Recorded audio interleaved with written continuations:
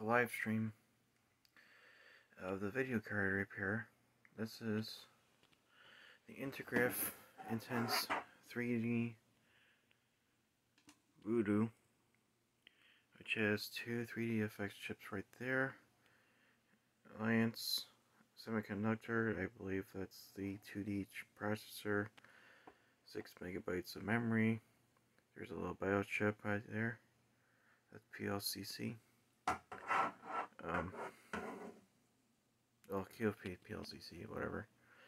Um, is this? I think I've done a video about this, but I haven't gotten to like the repair process of this. So it's basically part two of the overview. Um, it also has this here as well. The Chrontel CH7002B AUC. And I was trying to figure like what this thing was for the longest time when I had the, when this I got this card back in May, uh, January. Um, get my focus. Okay, so this port right here, that's for VR headset, which is actually pretty darn cool. Then you have the uh, normal 15 pin VGA out, composite out, S video out. Um, so it's basically like a, Voodoo Rush or Voodoo Banshee um, variant. And currently, I had to reflow the GPU. At the, the well, I reflowed the semiconductor, a 3DFX chips just a little bit. Thank you. Oh, great. I think I got two of them messed up there.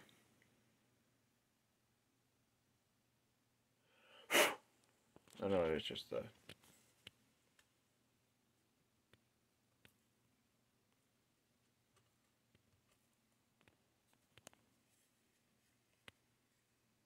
What brush I was using apparently they apparently it disintegrated a couple of them off when I was trying to scrub the ding uh, scrubbing the ding thing.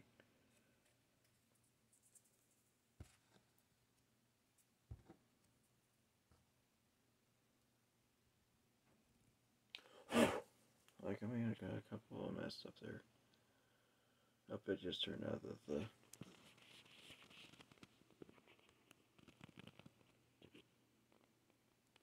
little bristles from that blue brush I have. Um, erode, not eroded, but what's the other word I'm looking for? Didn't look too promising. And then the gold plated um, contacts right here. Um, yeah, I was not too careful. So I need to figure out how to remove, how to remove it, how to fix it. I did find a video of how to fix it, but I'm not sure if that's actually going to be a good thing to do. So, while this is drying off, I have to use the flux remover for PC boards. It does a pretty darn good job removing leftover flux on the uh, logic boards. I've had this for, let's say, a couple years now. Not that bad. Of course, I have different spray bottles and everything else. I have a can of compressor. I have two of these to help dry it up fast. Plain distilled water, which says labeled plain D water. Soapy distilled water. I also have IPA 91 percent in here right now. I have 99.9 in a canister. It's basically like something like that. Well, sorry, something like this. It does a pretty darn good job. And then I have a couple brushes. I really need to clean these both here because with the flux on there, it makes it really impossible to scrub everything. So that's why I have a spare one I may have another one somewhere, but I can't see. No, it's only had the three. Actually, I had a fourth one, but apparently that wandered off and disappeared without a trace. Um, Anyway. So yeah, this, this is the brush I would normally use right now. Of course, I have to clean that. I still have to fix that Jetway motherboard. Because there's a lot of, thing, a lot of pins that have corrosion on them, so I have to use the rosin flux that I have right here. That's what I got. K, brain, rosin, non-spill soldering flux. I gotta say, that's actually a pretty darn good flux right there. I had the non-clean flux, but I kept leaving, residue all over the place. All over the motherboard and everything. It was a mess. And the sound card that I was working on at the time. Nice X7 Galaxy NX Pro 916, which is an A386 right there. Um, please excuse the mess. I have, I really need to move all this crap out of here. So that way I can set my desk in here. Because pretty soon I'm going to be working from home. Especially with a snowstorm that's coming and everything. So I take any changes driving and getting myself killed or anything like that. There's one girl that I really, they, well, also they fell in love with her, but I didn't want to say that on Twitter because I just want people to know about what the heck's going on or anything like that. But this one girl they really like. Um, she's not tuned to us, so I feel bad for her, which was something I could do for her. I even thought about just like sending her flowers and everything, but I don't have her address. The only thing I have is just her phone number. I have, oh, I'm sorry, email address. I gave her my phone number, my email address, and a couple other things. So, hey, um, she needs someone to talk to. She can talk to me because I'm there for her. Hey, jeez. I she's not doing too well, and I'm getting kind of bummed out because I'm just afraid that something terrible is going to happen. Keep crying in my sleep because I always think something terrible is going to happen to that beautiful lady.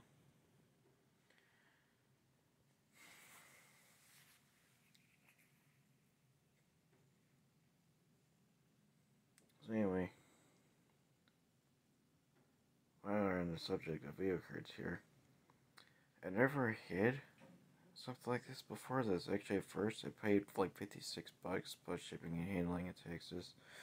It was local in my state. I didn't realize it. How lucky can you be? And here's the bottom of it.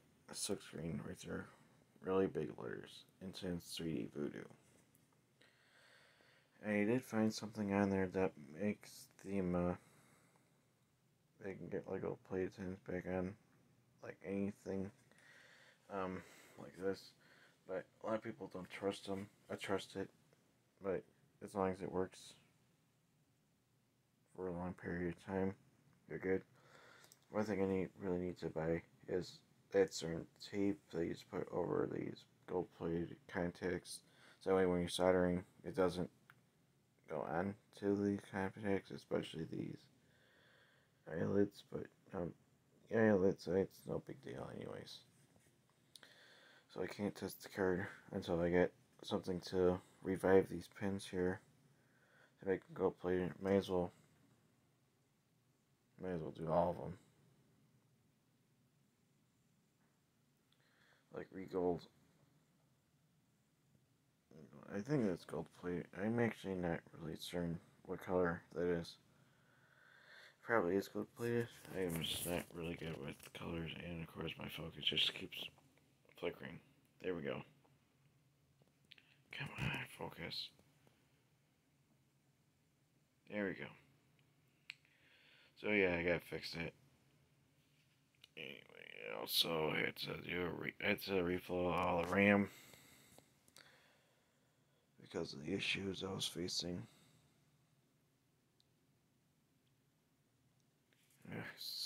SLB, I missed a line. Now I get to watch how how I do this stuff. Set the soldering iron to 250 to let it warm up, so that way I can tin it. But unfortunately, comment and then crank up to 350. Right, and then once that flashes, I'm going to go set to 400. This is in Fahrenheit, and just so you know, flashing light warning. So if you suffer from epilepsy or seizures, please feel free to not stare into the abyss. I need the light. Don't want you guys to get all pissed off at me. I'm Trying to figure which one it was. I think it's this one right over here.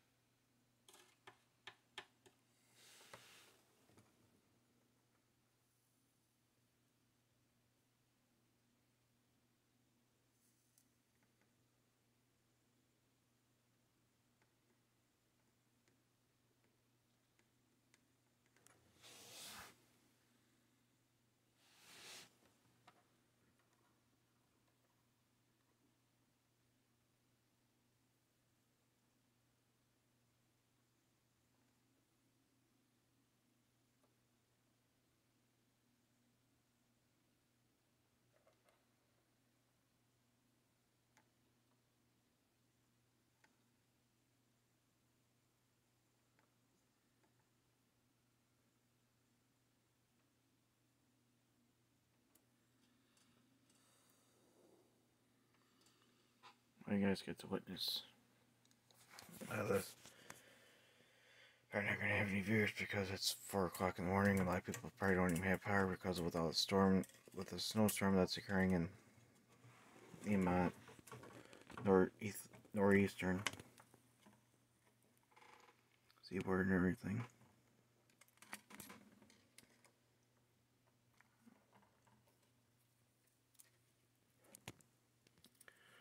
As I might say, we're going to get 5 to 8 inches of snow on Monday night. Of course, that's when it's going to be at the office.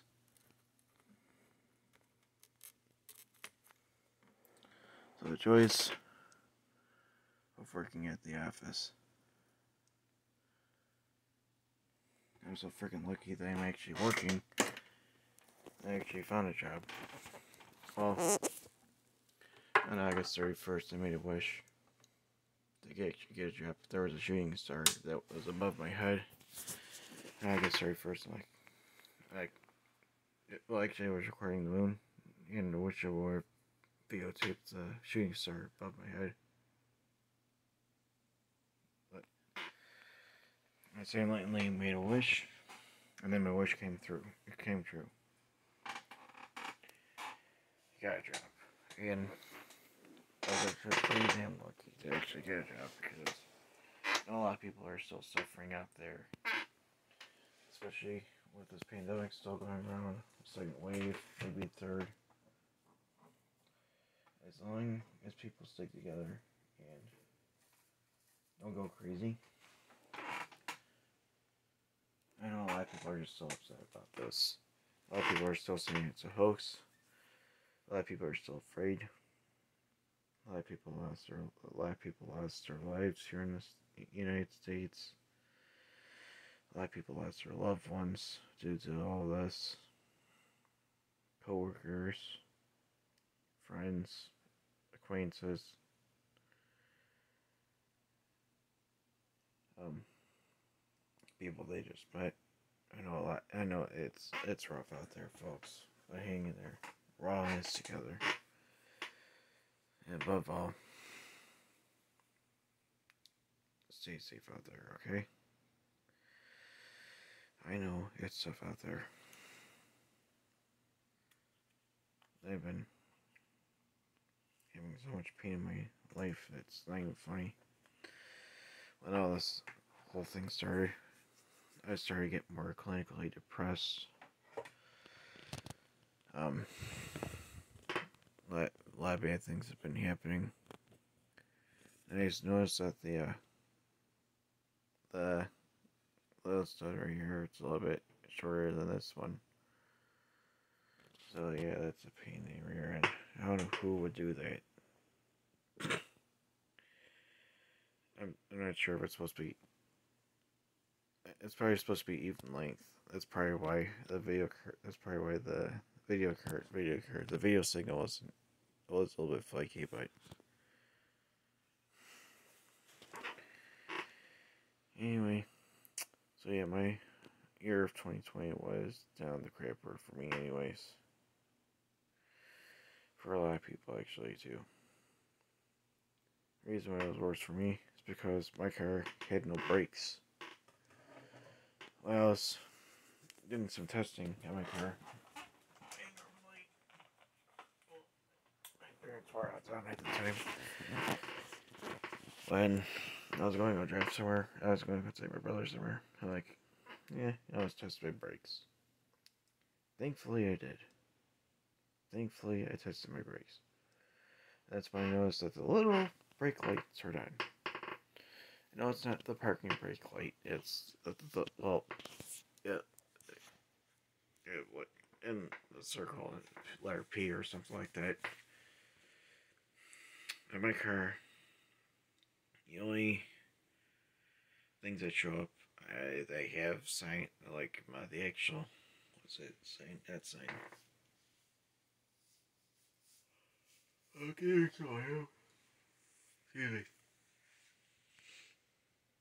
like the all coolant light, the battery light, seatbelt, and airbag light are the well, and the high beam light.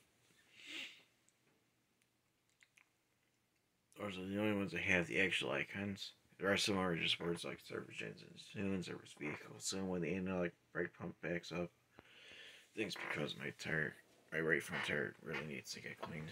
Well, actually, both my front tires need to be cleaned off, including my rear. Rear ones are still losing air, which is actually quite surprising. But they're not in the best shape on the inside. The outside, they're still pretty good. The inside, not so much. I get warped, so I gotta go get new tires for my car. Might as well get new tires for the rear, new rims for the whole four night for the whole four tires. I got getting um, steel wheels. And then pretty soon I'll be testing this bad boy. This uh, Creative CR563B CD-ROM drive. I do have a sound card installed for that, but I'm planning on swapping it to a different one anyways.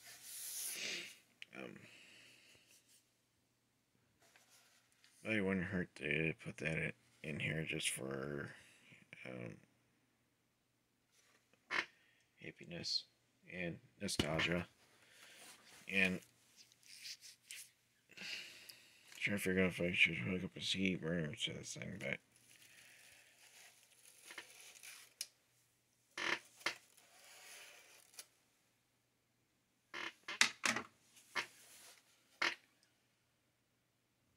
Anyway, look how nice and clean that is. Well, with the exception of the volume wheel. That still needs to get a little bit of cleaning out, but...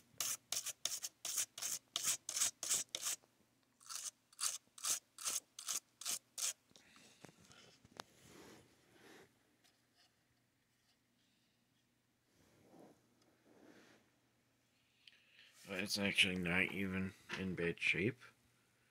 It's not even yellow. It's a little bit scuffed up. And I gotta say, that C drive actually looks pretty darn good for how old it is. And of course, coming from Florida. The drive itself was a little loose, like this um, the tray was open. I got it to close, I had to open it. In and show it close. And real test this to plug it into the computer to the Molex power connector and then push the eject button, see if it opens or closes. If it opens without any problems, like if it opens up without a problem, without it, like I'm feel like it's going so slow, qualify for a, a third stimulus check. Um,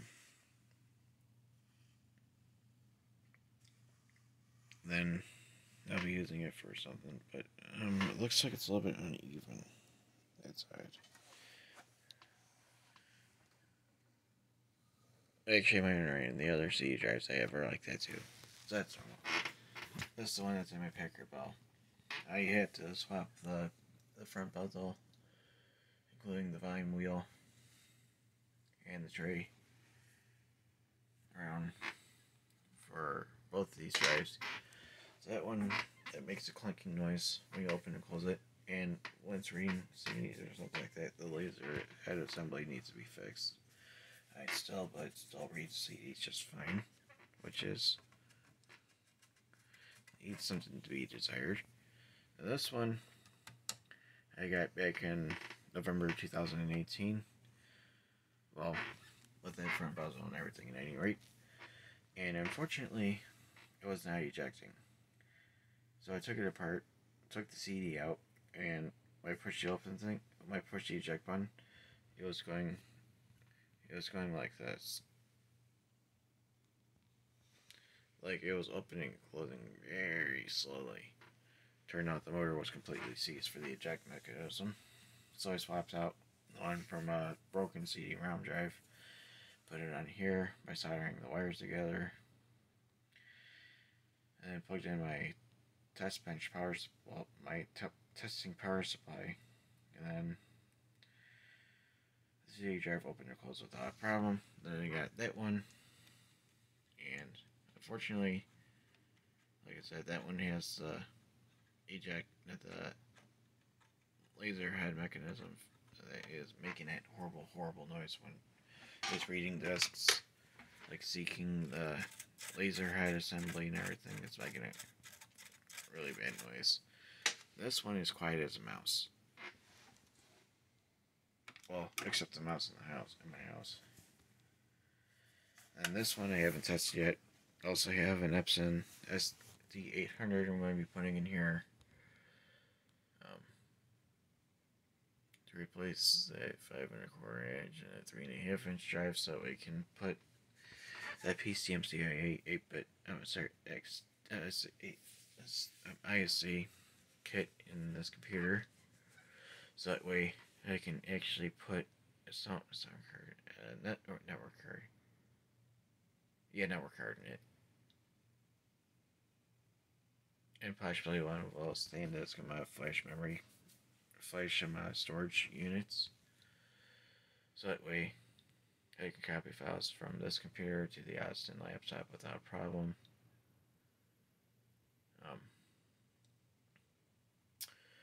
Or another thing that I can do is I can just leave this in here. Actually, I should probably try to find something that will cover this so we can put the three and a half inch hard drive right here. And then put the five and a quarter the dual floppy drive right here. You get 360k drive. So I can start making 360k diskettes so I can so if I get like a an XT computer that only uses 360k drives, that way I could be able to write files to that about this kind of stuff like that. Hmm. of DOS 2.1. Now you gotta get to sleep. Anyway, I know I'm not gonna have any viewers in here, but um, in case you guys like to watch it, uh, the the stream, feel free to come onto my Twitch. That's twitch.tv slash retropcuser. Unfortunately, you won't be able to make a comment in the section here because it goes by the live stream, and which is rather unfortunate. I know YouTube the same thing.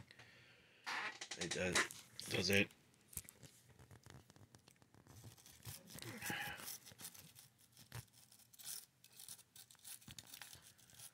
Anyway, this card is starting to get a little sticky there still.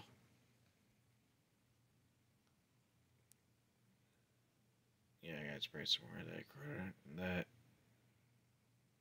Um, flux remover.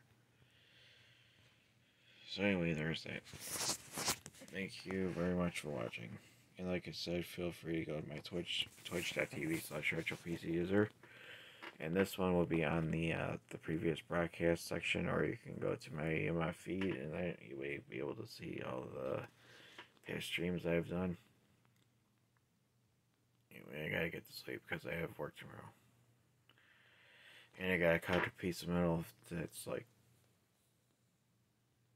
21 and 5 eighths inches by 2 inches. I'm sorry, 2 and a quarter inches for my um,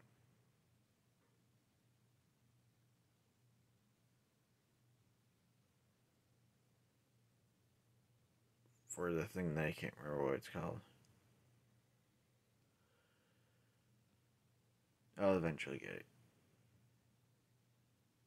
Oh, that's right. It's a. Uh, let's see.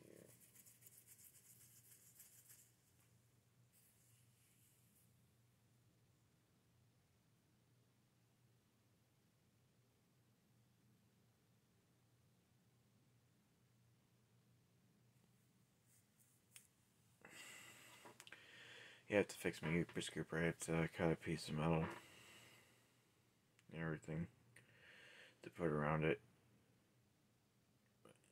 I need to figure out how to do that. I have to measure the inside one.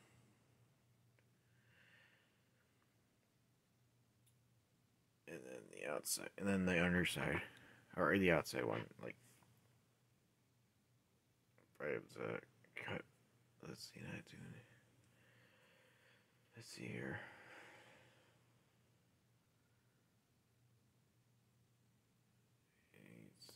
like 24 inches per thing by two and by like one inch or two that way I can use my self-tapping screws to hold the uh, piece of metal in place and then get some JB quick weld put the bottom to like put in the crease and everything so we